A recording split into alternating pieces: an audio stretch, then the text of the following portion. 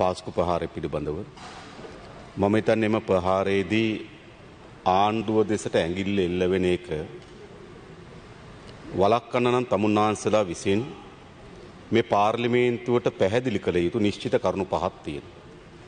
පළමු කරුණ තමයි වවුනුතු ප්‍රදේශයේදී පොලිස් නිලධාරි දෙදෙනෙක් ඝාතනය කිරීම පිළිබඳව එම එම පසුව එළිදර වුණ අය සහරල්ලා කණ්ඩායම් විසින් ඝාතනය කරන ලද්ද කියලා. නමුත් එය LTT සංවිධානයේ දෙසට හිටපු LTT ක්‍රියාකාරීන් දෙසට යොමු කරන්න කටයුතු කරේ කවුද? ඒක කියන්න. මොකද ඒ වවුනිතු ප්‍රහාරය ඔක්තෝබර් නොවැම්බර් මාසේ 30 වෙනිදා සිද්ධ වෙන්නේ. එතකොට අර දින 52 ආණ්ඩුව ඇතුළත මේක සිද්ධ වෙන්නේ. එහෙමනම් ඒ වෙලාවේ අත්අඩංගුවට ගැනීමට හැකි වුණා නම් මෙවැනි ප්‍රහාර සිද්ධ වෙන්නේ නැහැ. නමුත් එම ප්‍රහාරය ඇයි පැරණි හිටපු LTT සංවිධානය දිසට යොමු කිරීම සඳහා හිතාමතාම සැලසුම් කරාද? දෙවැනි ප්‍රශ්නය පාස්කු ප්‍රහාරයට සම්බන්ධ සහරන්න ඇතුළු කණ්ඩායමට හමුදා බුද්ධ්‍යංශ විසින් වැටුප් ලබා දුන්නු බව වාර්තා වී තිබෙනවා. ඒ වැටුම් ලබා දෙනු ලැබුවේ කවුරුද? ඒ වැටුප් ලබා දීම සඳහා නිර්දේශ කළේ කවුරුද? එවැනි වැටුප් ලබා දීමකට වැටුප් ලබා දුන්නේ කවර පිරිස් වෙතද කියන එක මේ පාර්ලිමේන්තුව ඉදිරිපත් කරන්න ඕන. තුන්වෙනුව පාස්කු ප්‍රහාරයට සම්බන්ධ විශේෂම ටාජ් සමුද්‍ර හෝටලේ ප්‍රහාරයට ආපු පුද්ගලයා එම ප්‍රහාරය ඔහුට කරගන්න බැරි නිසා ඔහු දෙහිවල ප්‍රදේශයේ පල්ලියකට යනවා. පසුව ඔහු දෙහිව ප්‍රදේශයේ නවාතැම්පලකදී පුපුරා ගැනීමක් සිදු කරනවා. හැබැයි තාජ් සමුද්‍ර හෝටලේ සිට ඔහුගේ පිපිරීම දක්වා කාලය ඇතුළත බුද්ධ්‍යංශ නිලධාරීන් එම පුද්ගලයාගේ ගෙදර යනවා. එහෙමනම් මොකද එතකොට එළිදරව් වෙලත් නැහැ, ප්‍රහාරයට ලක් වෙලත් නැහැ, නම ඇවිල්ලත් නැහැ. එනම් බුද්ධ්‍යස්ස නිලධාරීන් ඒ ගෙදරට ගියේ කොහොමද? ඒක මේ පාර්ලිමේන්තුවට කියන්න ඕන. තුන්වෙනි කරුණ විශේෂයෙන්ම පාස්කු ප්‍රහාරයට අදාළ ස්වයන්ඝාත කණ්ඩායම් සතුව තිබී සොයා ගන්න ලද සහ FBI විමර්ශකයන් විසින් අනාවරණය කරගත් අන්තර්ජාල කෙටුම්පත් ලිපිනය සහිත පරිගණක පාවිච්චි කරලද පුද්ගලයා කවුද? එක මේ පාර්ලිමිතුර කියන්න. අවසානයේදී පාස්කු පහරෙන් පසු එහි වගකීම භාරගන්නා ලෙස ISIS සංවිධානට පෙළබීම සඳහා මෙහි සිට කතා කරලද පොඩි සහරම් කෙන පුද්ගලයාට ඔහුගේ දුරකතන ඇමතුමට පොලිසිය හෝ රාජ්‍ය බුද්ධි සේවි නිලධාරියෙක් කතාකොට තිබෙනවද මෙය ISIS සංවිධානයේ පිළිගැනීමක් ලෙස භාරගන්න කියලා. මේ කරුණු පහට පිළිතුරු දෙන්න. මේ කරුණු පහ කොමිසන් සභා වාර්තා තුලත් සඳහන් වී තිබෙනවා. හතරවෙනි පස්වෙනි එක ඔබතුමාට මම කිව්වේ නැද්ද? ඊළඟ එක පස්වෙනි එක මම කියන්න ඔබතුමාට පහ කිව්වා නේද? ආ රයිට් පහ කිව්වා. හරි. රයිට් දැත් ඔය ඔය ටිකට දෙන්නකෝ. මම අනිත් ඒවාට යන්න පාස්කු ප්‍රහාරය පිළිබඳව මම හිතන්නේ එම ප්‍රහාරයේදී ආණ්ඩුව දෙසට ඇඟිල්ල එල්ලවෙන එක වළක්වන්න නම් තමුන්නාන්සලා විසින් මේ පාර්ලිමේන්තුවට පැහැදිලි කළ යුතු නිශ්චිත කරුණු පහක් තියෙනවා. පළමු කරුණ තමයි වවුනුතු ප්‍රදේශයේදී පොලිස් නිලධාරි දෙදෙනෙක් ඝාතනය කිරීම පිළිබඳව එම එම පසුව එළිදර වුණ අය සහරල්ලා කණ්ඩායම් විසින් ඝාතනය කරන ලද්ද කියලා.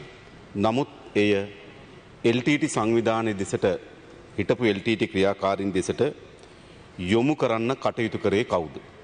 ඒක කියන්න. මොකද ඒ වවුනිතු ප්‍රහාරය ඔක්තෝබර් නොවැම්බර් මාසේ 30 වෙනිදා සිද්ධ වෙන්නේ. එතකොට අර දින 52 ආණ්ඩුව ඇතුළත මේක සිද්ධ වෙන්නේ. එහෙමනම් ඒ වෙලාවේ අත්අඩංගුවට ගැනීමට හැකි වුණා නම් මෙවැනි ප්‍රහාර සිද්ධ වෙන්නේ නැහැ. නමුත් එම ප්‍රහාරය ඇයි පැරණි හිටපු LTT සංවිධානය දිසට යොමු කිරීම සඳහා හිතාමතාම සැලසුම් කරාද?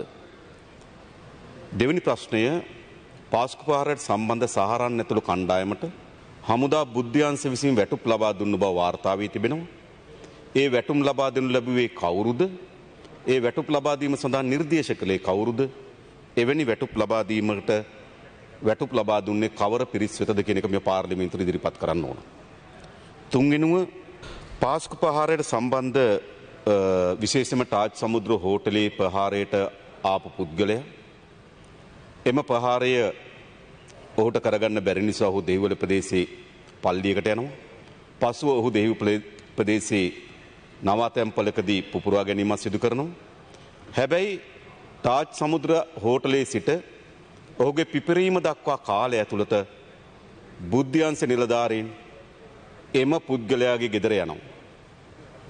එහෙමනම් මොකද එතකොට එළිදරව් වෙලත් නෑ ප්‍රහාරයට ලක් වෙලත් නෑ නම ඇවිල්ලත් නෑ එනම් බුද්ධ්‍යස්ස නිලධාරීන් ඒ ගෙදරට ගියේ කොහොමද? ඒක මේ පාර්ලිමේන්තුවට කියන්න ඕන. තුන්වෙනි කරුණ විශේෂයෙන්ම පාස්කු ප්‍රහාරයට අදාළ ස්වයන්ඝාත කණ්ඩායම් සතුව තිබී සොයා ගන්න ලද සහ FBI විමර්ශකයන් විසින් අනාවරණය කරගත් අන්තර්ජාල කෙටුම්පත් ලිපිනය සහිත පරිගණක පාවිච්චි කරලද පුද්ගලයා කවුද? එක මේ පාර්ලිමේන්තුවට කියන්න. අවසානයේදී පාස්කු පහරෙන් පසු එහි වගකීම බාර ගන්නා ලෙස ISIS සංවිධානයට පෙළඹීම සඳහා මෙහි සිට කතා කරලද පොඩි සහරාම් කෙන පුද්ගලයාට ඔහුගේ දුරකතන ඇමතුමට පොලිසිය හෝ රාජ්‍ය බුද්ධි සේව නිලධාරියෙක් කතාකොට තිබෙනවද මෙය ISIS සංවිධානයේ පිළිගැනීමක් ලෙස බාරගන්න කියලා. මේ කරුණු පහට පිළිතුරු දෙන්න. මේ කරුණු පහ කොමිසන් සභා වාර්තා තුළත් සඳහන් වී තිබෙනවා. හතරවෙන් පස්වෙනි එක ඔබතුමාට මං කිව්වේ නැද්ද? ඊළඟ එක පස්වෙනි එක මං කියන්න ඔබතුමාට පහ කිව්ව නේද? ආ රයිට් පහ කිව්වා. හරි. රයිට් දැත් ඔය ඔය ටිකට දෙන්නකෝ. මා අනිත් ඒවාට යන්න පාස්කු ප්‍රහාරය පිළිබඳව මම හිතන්නේ එම ප්‍රහාරයේදී ආණ්ඩුව දෙසට ඇඟිල්ල එල්ලවෙන එක වළක්වන්න නම් තමුන්නාන්සලා විසින් මේ පාර්ලිමේන්තුවට පැහැදිලි කළ යුතු නිශ්චිත කරුණු පහක් තියෙනවා. පළමු කරුණ තමයි වවුනුතු ප්‍රදේශයේදී පොලිස් නිලධාරී දෙදෙනෙක් ඝාතනය කිරීම පිළිබඳව එම එම පසුව එළිදර වුණ අය සහරල්ලා කණ්ඩායම් විසින් ඝාතනය කරන ලද්ද කියලා. නමුත් එය LTT සංවිධානයේ දෙසට හිටපු LTT ක්‍රියාකාරීන් දෙසට යොමු කරන්න කටයුතු කරේ කවුද? ඒක කියන්න. මොකද ඒ වවුනිතු ප්‍රහාරය ඔක්තෝබර් නොවැම්බර් මාසෙ 30 වෙනිදා සිද්ධ වෙන්නේ. එතකොට අර දින 52 ආණ්ඩුව ඇතුළත මේක සිද්ධ වෙන්නේ. එහෙමනම් ඒ වෙලාවේ අත්අඩංගුවට ගැනීමට හැකි වුණා නම් මෙවැනි ප්‍රහාර සිද්ධ වෙන්නේ නැහැ. නමුත් එම ප්‍රහාරය ඇයි පැරණි හිටපු LTT සංවිධානය දිසට යොමු කිරීම සඳහා හිතාමතාම සැලසුම් කරාද.